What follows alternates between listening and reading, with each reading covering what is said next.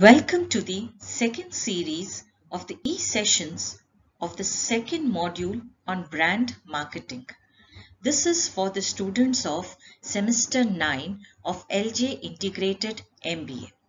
I, Dr. Susmita Suggala, in this session we will be discussing defining, designing and learning the implementation of brand mantras. In the previous session, we had discussed how to identify and establish brand positioning. Brand mantras is another strategy which enhances brand positioning.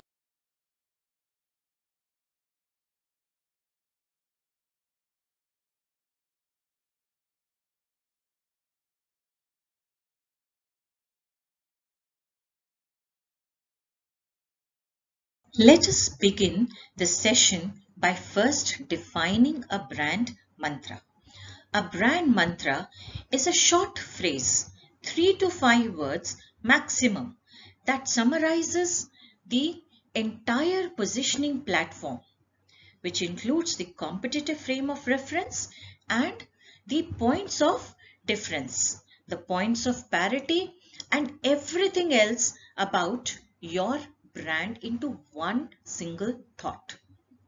This is the heart and soul of the brand. It is the spirit of brand positioning. It is the brand promise. And it is the brand essence.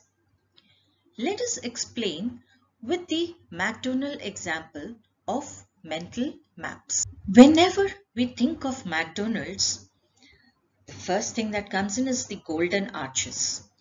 Now, besides these golden arches, what else does come to your mind? First, it is fun with family and kids McDonald toys and dolls. The other thing that comes in is the Ronald playground, birthday parties, warm and friendly atmosphere. These are all which are linked to the food value meals, hot, fresh and consistent quality. Value portion, price and the promotions.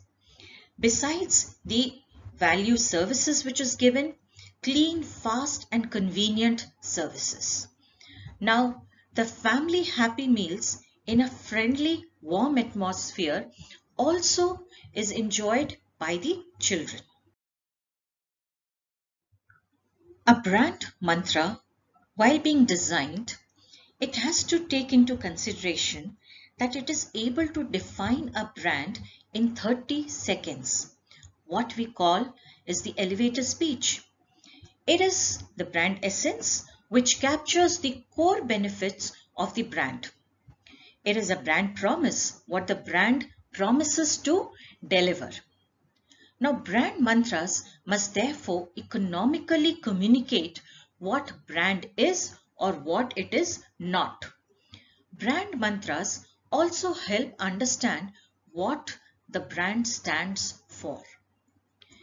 These mantras are used to decide or design on the basis of brand functions, descriptive modifiers and emotional modifiers. Now, what do these terms stand for? Brand function. Now this, it describes the nature of the product or service. You could also describe it as the experience or benefits the brand provides. For example, in McDonald's, it is food. Nike, it is performance. Disney, it is entertainment. Now the descriptive modifier. This further clarifies the nature of the product or service. Again, let's take the same example. In McDonald, it is the family. With Nike, it is athletic. Disney, again, it is family. Now, when I look at the third uh, function, it is the emotional modifier. This is another qualifier on how does the brand provide benefits and in what ways. Again, with the same example, McDonald's, here under emotional modifier, it stands for fun. For Nike, it is authentic. For Disney, again it is fun. Brand mantras find the power from the collective meaning.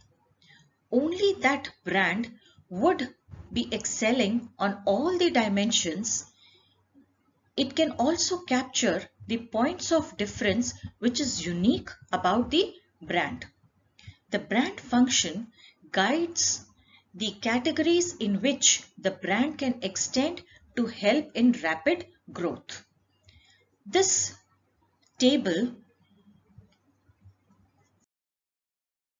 this table now explains the brand mantra in terms of brand functions, descriptive modifier and the emotional modifier for the three companies that we have been discussing that is McDonald's, Nike and Disney.